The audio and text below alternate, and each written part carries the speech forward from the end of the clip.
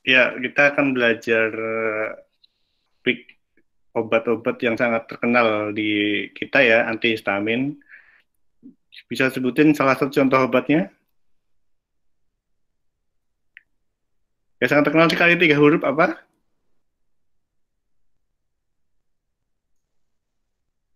Ya, contohnya misalnya ada CTM itu ya, itu contoh yang sangat terkenal dan uh, kita lihat bagaimana sih uh, obat CTM tadi misalnya dan apa saja perlu kita uh, perlu kita ketahui. Oke, okay? next silahkan lanjut.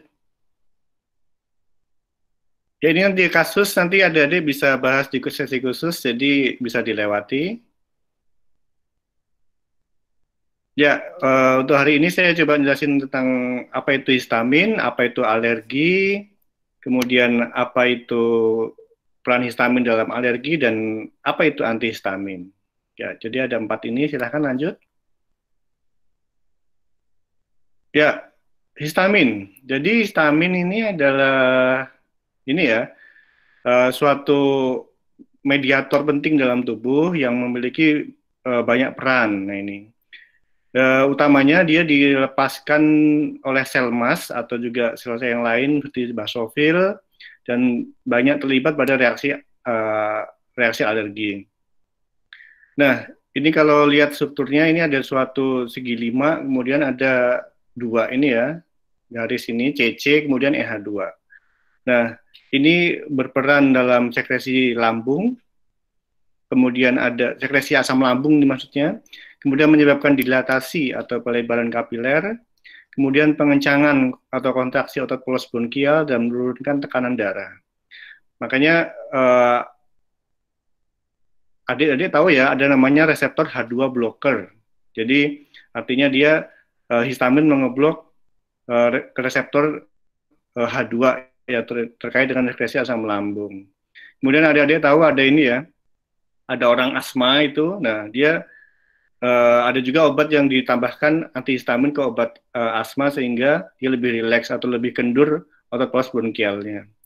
Atau pada keadaan anafilaksis tuh ya, jadi ada kejadian shock yang menyebabkan tekanan darahnya sangat turun dan itu adalah uh, karena peran dari histamin. Ya lanjut. Ya, histamin ini dibentuk dari asam aminohistidin. Jadi kalau kalian belajar uh, biokimia, ini ada asam amino namanya histidin.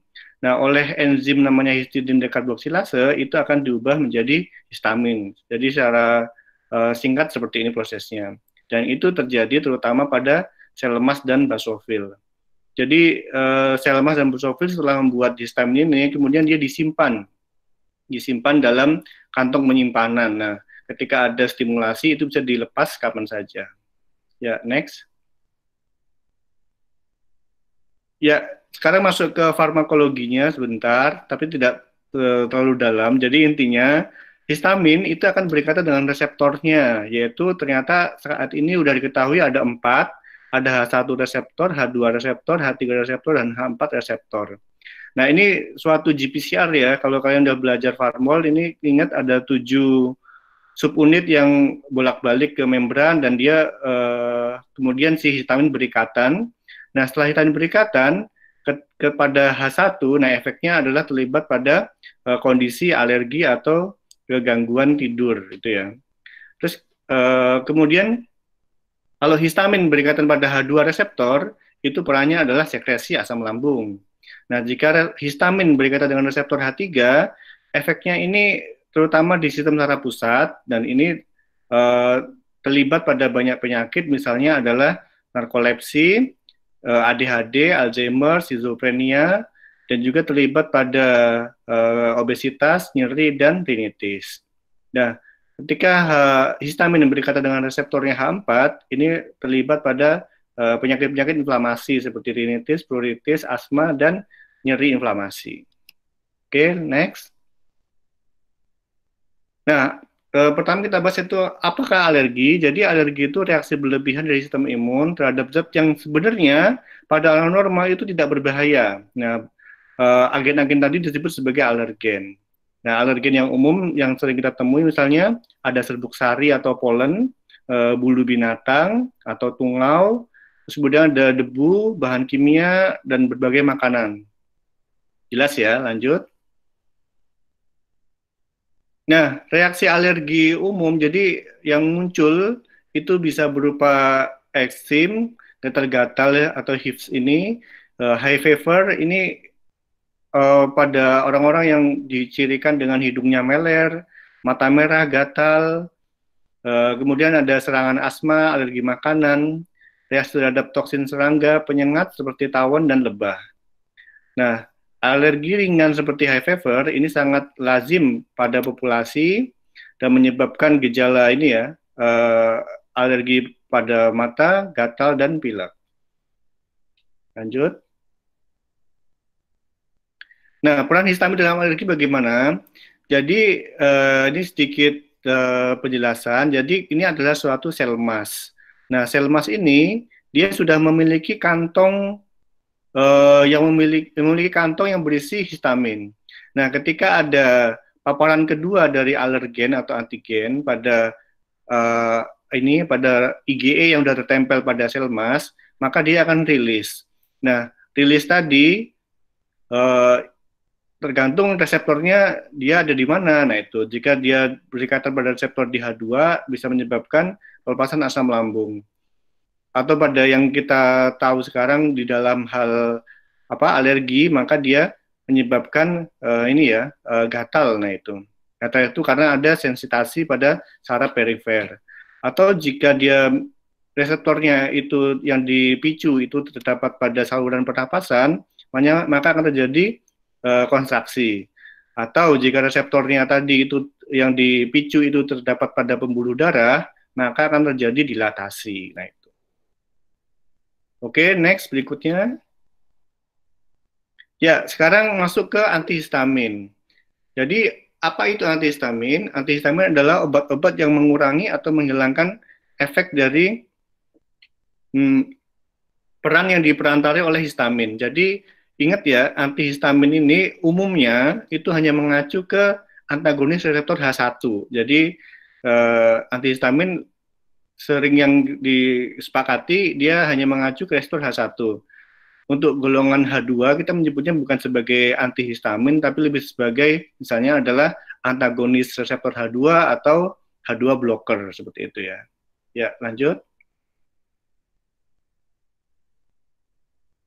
Nah, antihistamin ini sangat digunakan secara sangat luas, bisa dipakai untuk rinitis alergi, ini dicirikan dengan adanya hidung meler, kemudian konjungtivis seperti ini ya, mata merah, gatal, kemudian derma, kondisi dermatologis alergi, urtikaria, gatal-gatal, angioedema, pembakaran kulit. Jadi angioedema ini seperti ini ya, bibirnya itu uh, membesar nah, atau atau bisa juga pembuluh darah juga bisa membesar nah itu.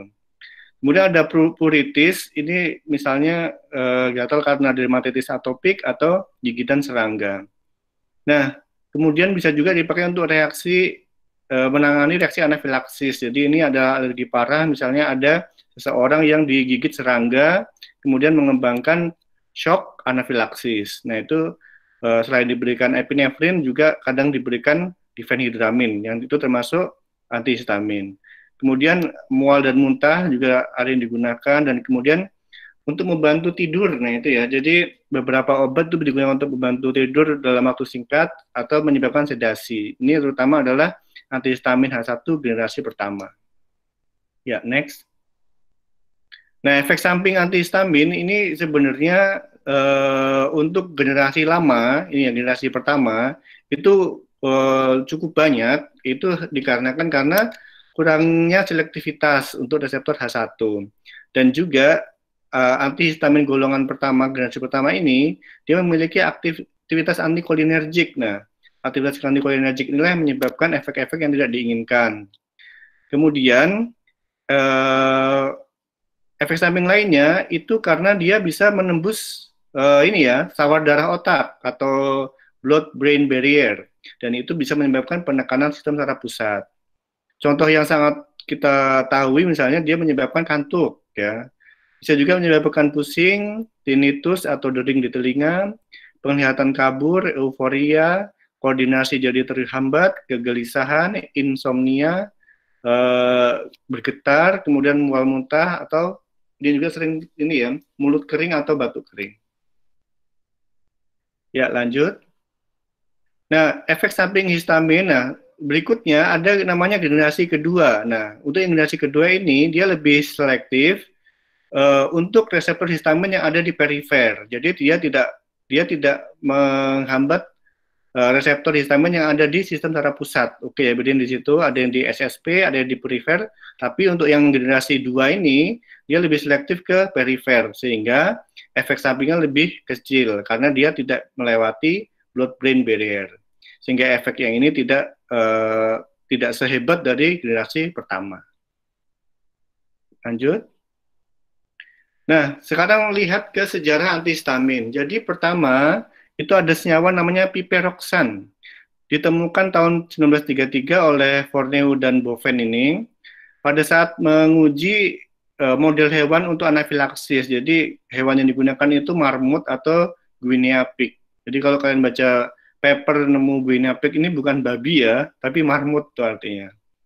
Nah, di sana ternyata setelah obat setelah ini ya uh, hewan marmut ini di kasih histamin, jadi dikasih histamin, dia kan menjadi bronkospasme ya, jadi eh, apa kaku, susah bernapas. Tapi jika dia diberikan peperoxan, dia eh, terhalangi efek dari induksi histamin. Nah, kemudian karena perannya ini dia mendapat hadiah Nobel pada tahun 1957. Selanjutnya, nah sekarang kita membahas ke kelas. Nah, jadi ini ingat ya, ini adalah kelas kelas anggota. Jadi di dalam kelas ini nanti dia banyak sekali juga anggotanya. Nah, yang pertama kita bahas ini adalah generasi pertama. Nah, ini ada etilen diamin, ada etanolamin, kemudian ada alkilamin, piperazin, dan trisiklik. Nanti setiap uh, kelas ini akan saya coba bahas lebih detail. Ya, next. Sekarang ke fitur struktural umum. Jadi eh, pelan-pelan uh, ya. ini uh, kita mulai masuk ke beberapa struktur yang ini semoga kalian bisa menguasai karena ini kekuatan apoteker bisa di sini. Jadi kita lihat, ingat aja ada suatu benzen, benzen kemudian ada di apit oleh suatu atom. Oke okay ya. Kemudian lihat setelah dari pusat atom ini ke N, ingat ya tadi histamin ada N ya itu ada pemisah atau disebut sebagai spacer. Nah ini bisa variasi, bisa dua atau tiga, tapi umumnya nanti dua.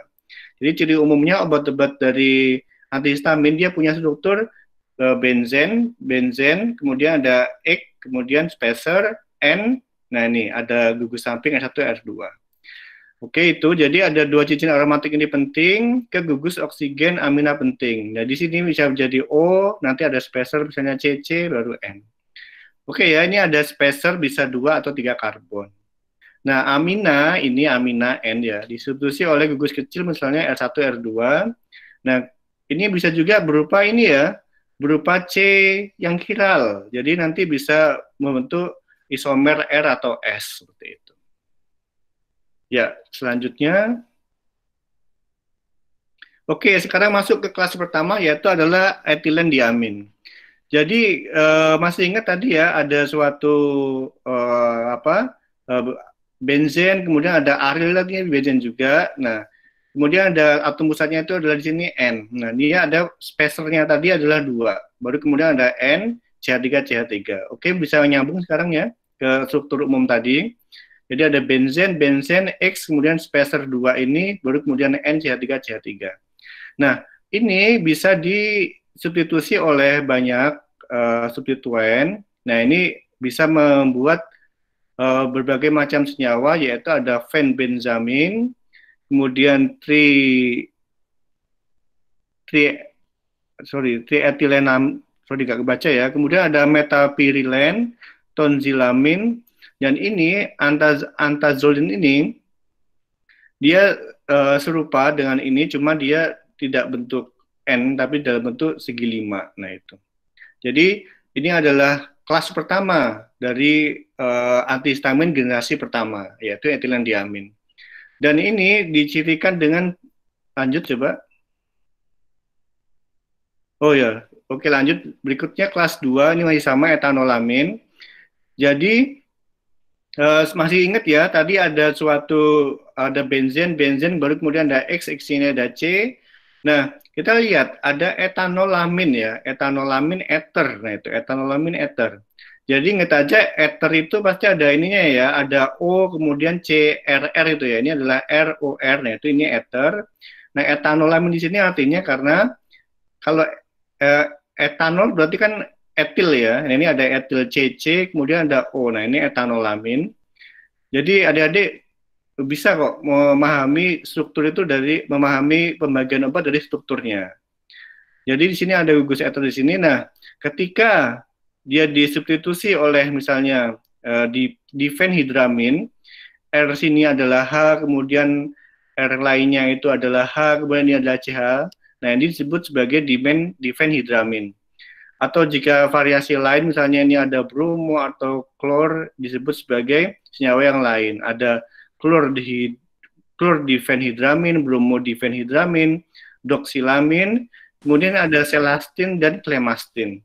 Nah, untuk yang uh, klemastin misalnya, ini agak unik ya, karena senyawa N-nya itu tidak berupa rantai, tapi berupa segi lima seperti itu. Tapi intinya masih sama. Dia ada CC kemudian segi lima. Ini pun sama ada O, CC tapi ini segi uh, 6 atau 7 itu ya. Itu ada untuk selastin. Nah, untuk etanolamin sama ya, relasi pertama utamanya dia bisa menembus sawar darah otak sehingga menyebabkan efek sedasi. Selain itu, dia juga menyebabkan ini ya, efek antikolinergik. Nah, cukup signifikan. Jadi uh, efek antikolinergik itu menyebabkan ini tadi itu ya uh, mata apa bukan mata mata pandangan mata kabur kemudian uh, hidup apa mulut jadi kering. Nah itu adalah sifat-sifat dari antikolinergik jadi kelas lama ini generasi lama ini dia masih memiliki efek sedasi yang kuat dan juga antikolinergik yang kuat. Oke, etanolamid ingat aja dia adalah senyawanya ada dimenhidramin dan uh, difenhidramin dan dimenhidrinat. Nah, difenhidramin ini digunakan untuk sirup obat batuk dan ini juga masih obat ini masih dipakai ya di pasar masih ada. Ini bisa dibeli tanpa resep, kemudian eh, ini menyebabkan sedasi ya sehingga digunakan juga untuk alat bantu tidur tanpa resep, misalnya pada Tylenol. Kemudian eh, efeknya ini ini Eh, strukturnya ini serupa dengan ini ya, kalau ada dia tahu obat namanya fluoxetine, dia itu adalah obat antidepresan. Nah, dia pun memiliki uh, kesamaan uh, struktur yang sangat mirip sehingga dia juga bisa menghambat reuptake serotonin. Nah, uh, itu difenidramin. Kemudian tadi ada dimenhidrinat. Nah, dimenhidrinat ini cukup menarik karena dia digunakan untuk obat apa? Kalian tahu dimenhidrinat untuk isi dari obat apa? Coba hidupin mic-nya. Ada yang bisa jawab? Dimenhidrinat itu komposisi aktif dari obat apa? Coba Larasati. tahu nggak? Obat mual obat anti mabuk perjalanan. Kali yang kalian tahu, yang kamu tahu apa? Antimo. Nah, antimo ya. Nah, antimo itu mengandung senyawa, nah itu namanya adalah dimenhidrinat. Jadi Uh, selain sebagai obat antihistamin atau membantu tidur, uh, dimenhidrinat itu dipakai buat uh, ini ya anti motion sickness. Jadi sebagai anti mabuk perjalanan dan itu sangat uh, efektif ya kepada beberapa orang karena mekanismenya tidak diketahui, tapi yang jelas seseorang ketika minum antimo dia rasanya apa itu ngantuk ya. Nah, mungkin dengan ngantuk kemudian dia bisa ini juga ya lebih menstabilkan vestibular. Jadi antara goncangan di keseimbangan telinga kita jadi lebih stabil sehingga kita tidak mudah terpicu untuk mual muntah. Nah, itu e, mekanisme kerja dari e, antimo yang mengandung dimenhidrinat. Jadi ingat dimenhidrinat, dimethylphenhydramin dia masuk ke kelas etanolamin. Oke ya. Ya, lanjut. Ya, tadi masih ada di kelas etanolamin ada klemastin. Tadi Uh, masih ingat di bawah sendiri dia tadi ya. Uh, efek sampingnya lebih sedikit dibandingkan dengan kebanyakan antihistamin di kelasnya. dan dianya digunakan untuk obat uh, ini ya antipruritik atau untuk menghentikan gatal seperti itu.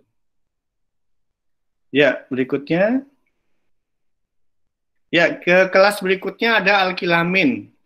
Uh, tadi masih ingat ya, ada segi 6, ada benzen, benzen, kemudian ada X. Nah, pada alkilamin X ini tak lain adalah C. Oke ya, jadi kelas di sini adalah C. Sama habis C dia ada uh, etil ini CC, kemudian baru N, baru si CH3, CH3.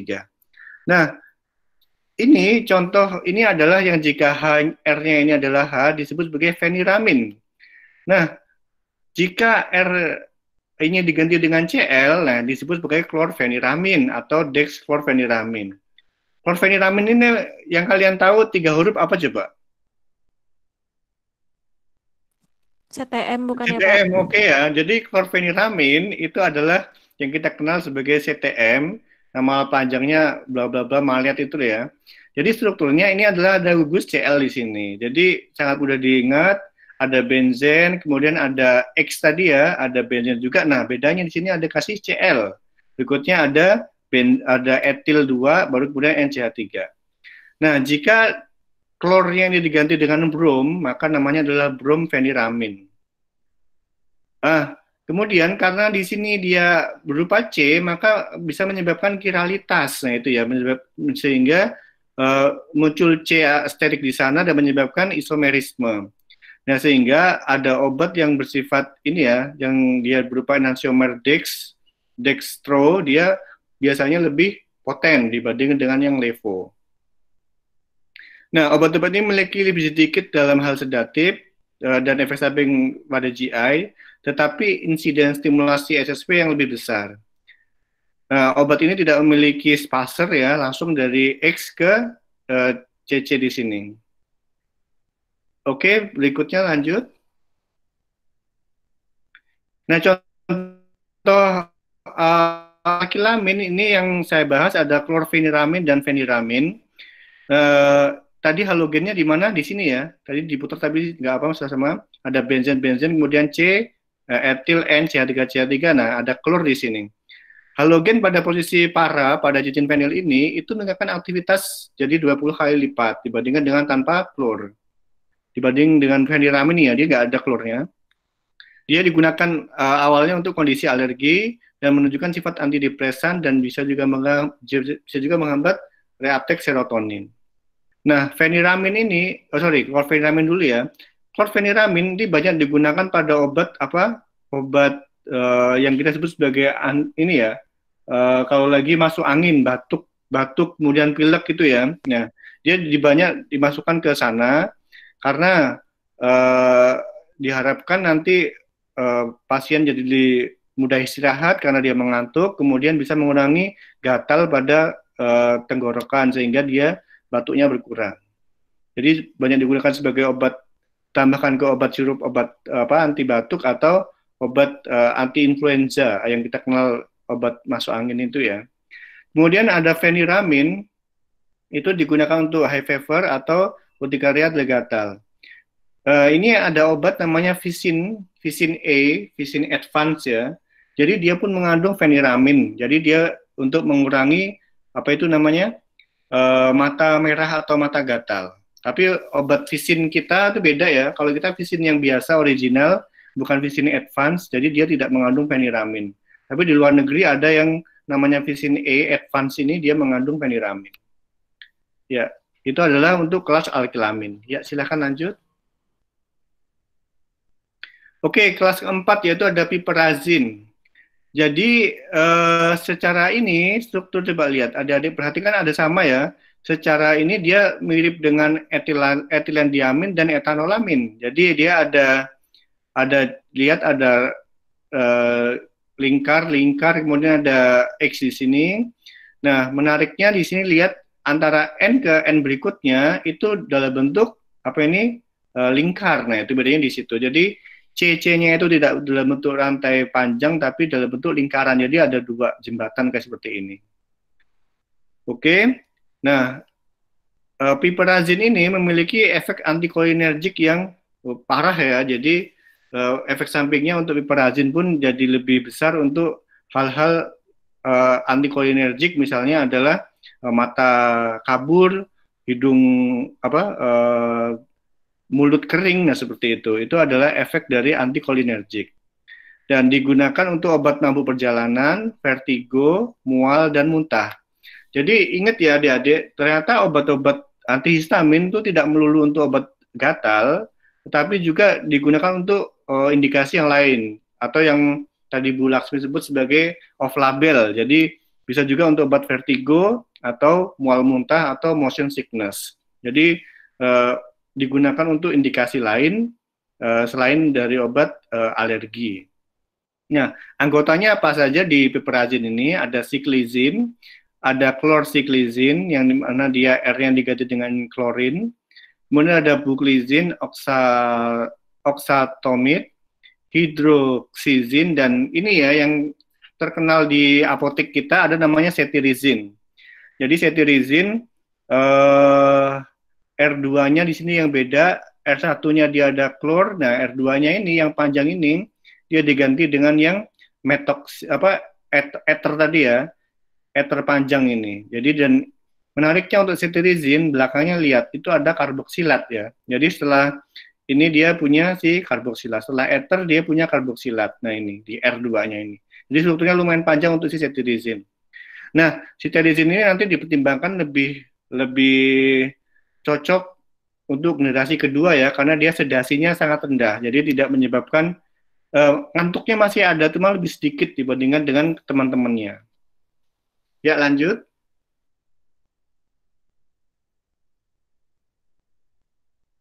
Ya, ini saya bahas contoh obatnya ada, ada siklizin. Tadi ingat ya, ada uh, segi, segi 6, segi 6, kemudian ada X. Nah, N, nah ada jembatan CC tapi dalam bentuk jembatan lingkar ini. Nah, siklizin ada klor siklizin. Bedanya di sini ada dikasih CL.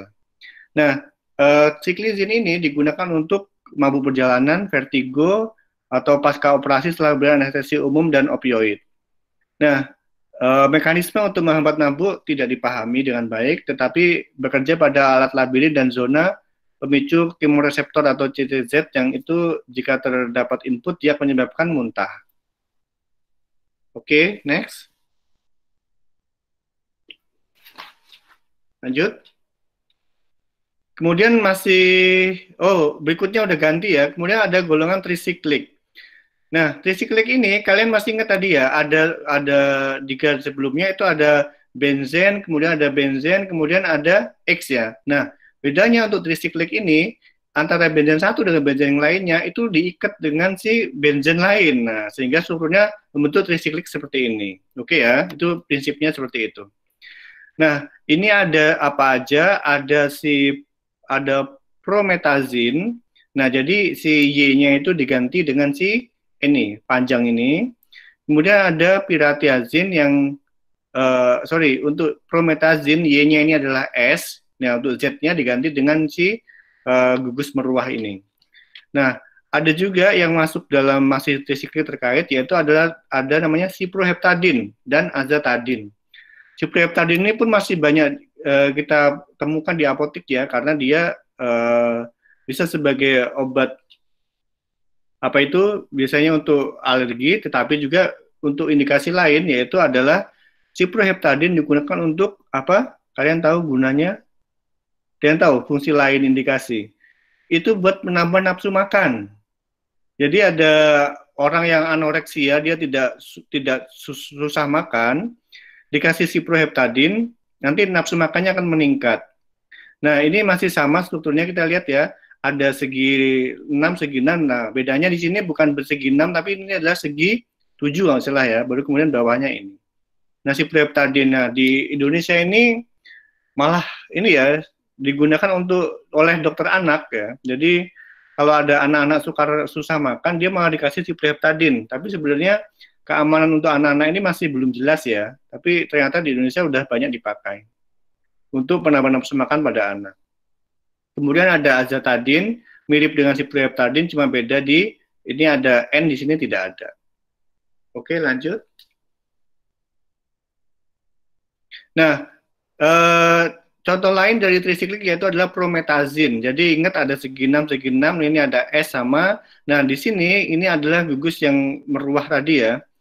Nah, ini memiliki efek antikolinergik dan penenang yang sangat kuat. Obat ini semula digunakan untuk psikotik, tapi sekarang digunakan sebagai apa ini ya kelihatan? Oke. Okay. Oh, untuk ini ya anti uh, mual muntah, oke. Okay. Morning sickness dan penenang. Tapi obat ini uh, perlu resep ya. Ini pun masih uh, banyak beredar di Indonesia, promethazine. Ya, berikutnya Ya, si proeptadin tadi ya, uh, saya bilang uh, digunakan untuk menambah nafsu makan. Dan dia juga beraksi sebagai antihistamin dan anti serotonergic. Jadi dia bisa juga beraksi pada reseptor 5-HT2 uh, eh, untuk mengobati high fever, tapi juga untuk menambah nafsu makan pada penderita anoreksia. Dan juga untuk mengobati diskusi seksual yang diinduksi SSRI atau juga sindrom Cushing atau sakit kepala migrain. Tapi indikasi ini uh, jarang ya karena masih off label untuk indikasi tiga ini. Ya, lanjut.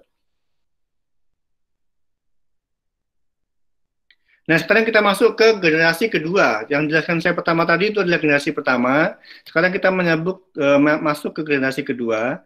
Di sini disebut sebagai non sedasi ya, karena sedasinya kurang dibanding pendahulunya. Karena apa? Karena dia lebih selektif hanya menghambat reseptor H1 yang pada perifer ya. Jadi dia tidak mengeblok yang di reseptor H1 yang di SSP. Nah, itu bedanya di sana. Nah, di perifer tadi ya ini ya di organ-organ lain selain di sistem saraf pusat. Jadi obat ini memberikan manfaat yang sama tetapi efek samping lebih sedikit. Ya, next.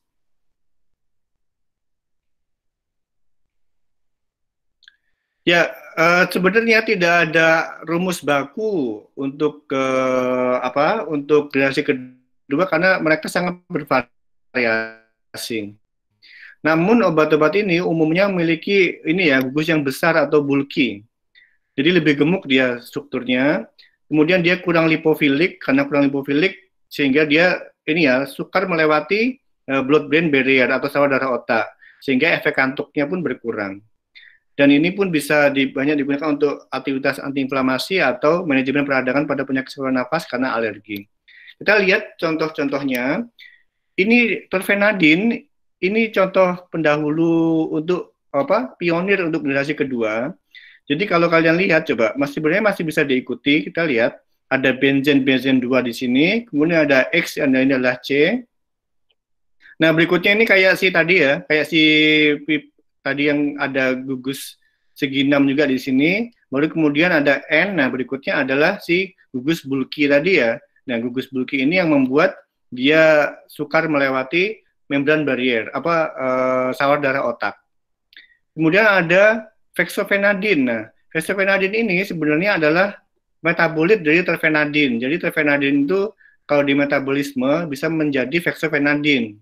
Nah, fexofenadin dan terfenadin bedanya di R-nya. Di sini dia bukan CH3 tapi adalah si COOH. Jadi suatu karboksilat. Kemudian ada astemizol. Jadi dia berbedanya di sini tapi dia masih sama ada N di sini yang sama dengan di sini. Dan segi limanya dia ada di CCP di sini ya, ada segi lima NN yang lain di sini. Kemudian ada loratadin. Nah, loratadin, desloratadin, ada rupatidin. Jadi mereka satu struktur, satu keluarga jadi kalau lihat struktur ini, kalian akan ingat ini struktur apa tadi kalau di generasi pertama? Kelas yang apa miripnya si loratadin ini? Coba ada yang bisa bantu jawab nggak? Apa? Trisiklik ya. Jadi ada trisiklik di sini ya. Jadi ada tiga antara ini ada siklik berikutnya. Nah, itu mirip dengan trisiklik yaitu adalah loratadin. Kemudian ada cetirizin yang sudah kita bahas tadi, dia digolongkan lebih tepat digolongkan ke generasi kedua. Jadi ada benzen 2 di sini, kemudian ada jembatan di sini yang dia berupa karboksilat.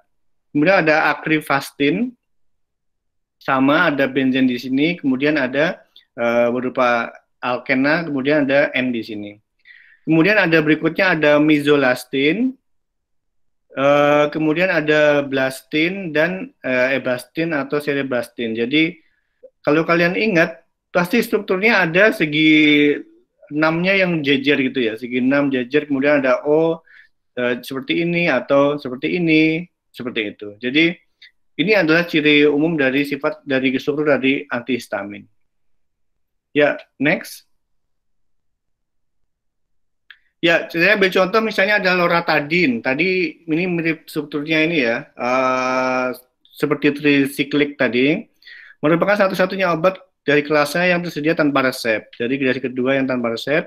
Kemudian memiliki efek apa ini? Tahan lama. Jadi uh, efeknya itu panjang. Jadi bisa diminum sekali sehari. Ya, jadi uh, kalau di obat namanya OD ya, one day. Jadi dia di uh, di, cukup diminum sekali sehari karena efeknya panjang dan tidak menyebabkan kantuk dan tidak karena tidak melewati blood brain barrier. Nah, loratadin ini untuk high fever yang dicirikan dengan mata berair, hidung merah dan sebagainya. Nah, berikutnya ada terfenadin tadi yang contoh pionir untuk generasi pertama ya. Jadi eh, ini ada siklik 2, kemudian X, kemudian baru gugus panjangnya ini digunakan lama sejak ditemukan hingga tahun 1990. Karena akhirnya obat ini 1990 ini dia ditarik. Ditarik karena apa? Obat terfenadin ini bisa menyebabkan meningkatkan risiko aritmia. Oke ya. Jadi ternyata terfenadin ini bisa berikatan pada pada ini ya, pada suatu protein yang jika dia berikatan efeknya adalah aritmia. Nah, sehingga kan sangat bahaya sekali ya. Kita tujuannya meredakan alergi tapi jantungnya yang kena. Sehingga obat ini ditarik pada tahun 1990. Nah, terfenadin ini tadi masih enggak coba balik ke slide sebelumnya. Balik ke slide sebelumnya. Nah, terfenadin tadi suatu obat induk dan jika dia di metabolisme akan menjadi fexofenadin. Nah, Untungnya, fexofenadin ini dia tidak memiliki sifat seperti terfenadin dalam hal menyebabkan toksik pada jantung, sehingga fexofenadin ini yang sekarang banyak dipakai. Jadi karena dia aman untuk jantung, tetapi efek uh, antihistaminnya masih ada dan dia tidak menyebabkan kantuk juga, sehingga fexofenadin ini yang dipakai dan terfenadin ini udah uh, ditinggalkan. Nah, di Indonesia ini cukup menarik ya, karena apa? terfenadin ini masih ada yang jualan. Jadi dexamedica itu masih jual terfenadin. Jadi kemudian juga ada astemizol, ini pun masih dijual. Astemizol ini digunakan untuk uh, utamanya untuk ini ya, untuk anti uh, agen prokinetik. Jadi uh, untuk uh, peng, pemercepat pengosongan uh, uh, lambung ya, astemizol dipakai di sana karena dia berperan di reseptor uh, dopamin. Nah, jadi uh, jika adik-adik misalnya di rumah sakit atau di mana di apotik dan ketika mendapatkan ada obat terfenadin, kemudian ada juga astemizol, dan di satu sisi ada adik juga punya fexofenadin, lebih baik digunakan fexofenadin yang jelas itu udah pasti aman untuk jantung dibandingkan dengan terbe dengan uh, terfenadin seperti ini. Nah, terfenadin atau astemizol ini itu juga ada masalahnya di bagian interaksi obat. Jadi uh, ada obat namanya misalnya adalah uh, obat suatu antibiotik ya, itu dia bisa berinteraksi dengan si terfenadin tadi sehingga efek ke jantungnya atau aritmianya tadi lebih besar terjadi sehingga memang berisiko untuk uh, berurusan dengan dua obat ini. Jadi ketika adik-adik punya obat lain yang lebih aman, misalnya fexofenadin, itu bisa direkomendasikan. Oke, okay, next. Berikutnya. Ya, fexofenadin tadi saya bilang tadi suatu metabolit ya dari si terfenadin. Nah, dia memiliki efek yang lebih efektif dan aman dibandingkan dengan induknya yaitu terfenadin. Kemudian ada cetirizin. Cetirizin tadi saya udah bahas berkali-kali ya. Dia dia sebenarnya masih ada yang dia sebenarnya masih bisa apa masih menyebabkan kantuk ya tapi dibanding dengan generasi pertama dia lebih rendah Cetirizine ini kalau di kita nggak tahu masih masuk resep atau enggak, kalau di luar negeri dia tersedia tanpa resep. Untuk bersin, hidung gatal, dan mata gatal. Ya, berikutnya. Ya, terima kasih. Jadi ternyata antihistamin itu ada banyak ya, dan uh, kita de bisa dengan mudah membaginya menjadi generasi pertama dan generasi kedua. Generasi pertama itu utamanya dia menyebabkan kantuk, sedangkan generasi kedua itu tidak menyebabkan kantuk. Dan ada banyak masalah di generasi pertama, misalnya dia bisa menyebabkan efek samping berupa uh, antikolinergik, kemudian uh, tapi ada untungnya juga generasi pertama ini memiliki uh, indikasi yang lain, misalnya untuk vertigo, untuk motion sickness, untuk uh, uh, apa banyak penyakit lain yang bisa ditangani oleh antihistamin. Jadi jangan jangan berkecil hati bahwa ternyata antihistamin itu tidak hanya untuk obat anti gatal ya. Jadi untuk indikasi lainnya pun masih luas. Dan uh, untuk generasi kedua tadi dia keunggulannya adalah dia tidak menyebabkan kantuk, terus kemudian dia bisa menyebab dia bisa juga ada beraksi panjang dan tadi ya ada isu juga ada masalah juga di sana yaitu ada dua obat yang bisa menyebabkan aritmia yaitu ada si terfenadin dan astemizol dan sehingga kita harus hati-hati ketika berurusan dengan dua obat tersebut. Tadi nanya juga memiliki kata terfenadin, nanya lagi juga memiliki kata fexofenadin, tirinya diambil dari kata cetirizine. Uh, sekian uh, trip, tips and trick dari Diklat. Uh, sebelumnya saya ingin bertanya, jadi kan uh, jembatan keledai yang pertama itu kan ada di Hidra, di Hina, Arbi, sama Lea. Nah, dari teman-teman, masih ingat nggak kepanjangannya dari apa? Ada yang bisa menjawab? Jadi yang di, di Hidra, dihina Arbi sama Lea. Ada bisa jawab nggak?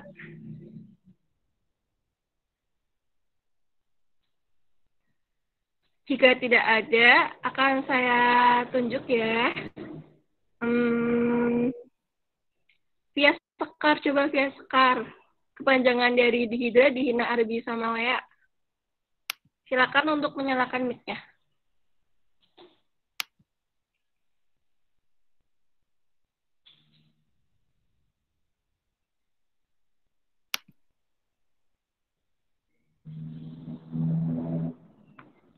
via Sekar.